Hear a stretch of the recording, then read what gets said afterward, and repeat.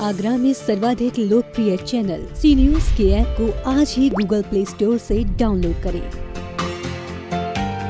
जागरूक नागरिक समिति कोविड 19 के खतरों से लोगों को जागरूक करने का कार्य कर रही है। समिति के अध्यक्ष हेमंत भोजवानी ने शहर के लोगों से कोविड 19 से बचने के लिए घर से बाहर निकलते समय मुँह पर मास्क लगाने की अपील की है।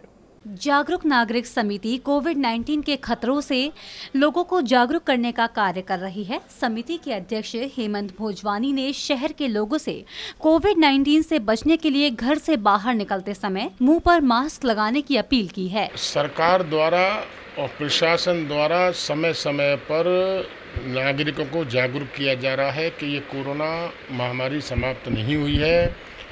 हमको नियमित हाथों की सफ़ाई रखनी है, दो गज की दूरी बना के रखनी है और लगातार मास्क का प्रयोग करना है।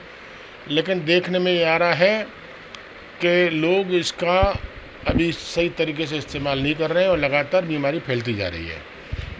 जागरूक नागरिक के नाते मैं आपके माध्यम से सबको अपील करना चाहूँगा कि वैश्विक महामारी बहुत ही विकराल रूप ले रही है धीरे धीरे और आने वाला सर्दी का मौसम है, संभवतः उसमें भी परेशानी आएगी।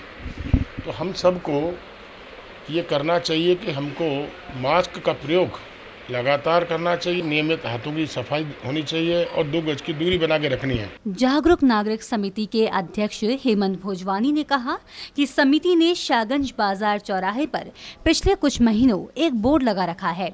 इस बोर्ड के माध्यम से लोगों को और राहगीरों को कोविड 19 से बचने के उपाय की जानकारी दी जा रही है। लॉकडाउन से लेकर के और अब तक लगातार हमने एक होर्डिंग लगा रखा है, पंपलेट भी बांटे हैं। हमारे जागरूक नागरिक सद्भाव समिति के एक बहुत बड़ा होर्डिंग लगा है चौराहे पे।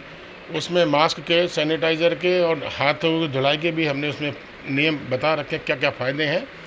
उससे कुछ लोगों को लाभ तो मिल रहा है, लेकिन और अधिक अभी हमको जागरूक होने की आवश्यकता है। जागरूक नागरिक समिति समय समय पर सोसाइटी के लिए इस तरह के जागरूकता कार्यक्रम आयोजित करती रहती है। सी न्यूज़ के लिए अजय बहादुर की रिपोर्ट।